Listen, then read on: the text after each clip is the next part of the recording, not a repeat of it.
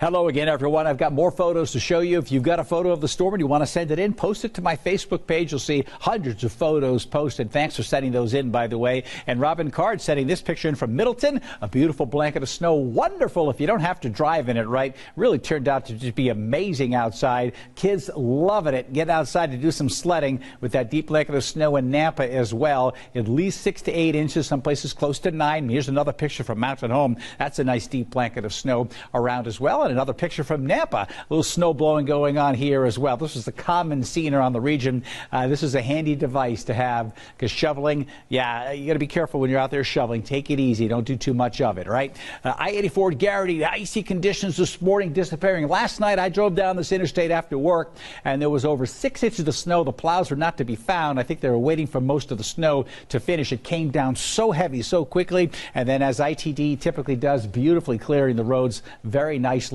and uh, conditions will continue to improve as long as they don't have any more precipitation, which should be the case until we get to around Wednesday. So here's some other shots here. What it looked like during the day. Cherry Lane and Blackhawk dry here. This is an older picture, I think, from Fairview and Five Mile. It's gotten a little bit, a little bit better than that, and you still see some again those secondary arteries still have uh, snowy areas, especially turning the corners, parking lots. Just be careful when you're heading out there. This morning, this is what it looked like on Front Street, and then through time, you see getting a little bit better on the roadways there. Not so bad, but temperature still only at 21. Frigid air mass is starting to slide to the east, and we're seeing a little bit milder weather, trying to nudge its way in from the west, getting to 30 in Caldwell today. But our low pressure system, I should redraw this. It's already rocketing to the east. There's the snow we had last night is going through Memphis, Tennessee at this hour. That's pretty impressive with that storm system moving very quickly. Dry flow of air coming in from the northwest, but this low pressure right here, a little storm system's energy is going to come down and it's going to tap into this moisture here, and that moisture is going to track in our direction, and you'll see it right in here. So this is the moisture. We'll put it into motion. It's going to start pushing towards the northeast here. You see a storm system forming with it right in here. Now we're pushing ahead to Monday, Tuesday, and this is now Wednesday, Tuesday night, Wednesday morning. So you could wake up Wednesday morning with another little shot of snow coming across the region.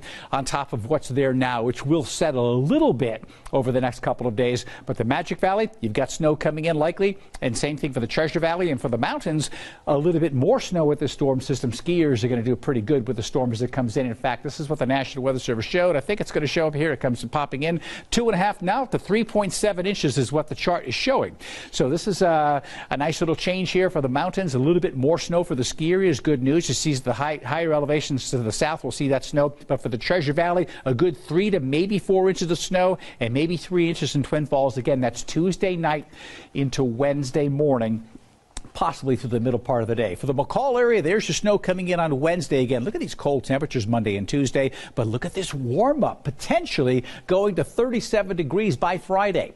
My Scott score for the day tomorrow, it will be cold in the morning. I'll give it a four, but if we get a little sunshine tomorrow afternoon, that may make it a six. So I'm going to average with a five just because it's still pretty cold out there and it's a little uncomfortable having to deal with all the snow, right?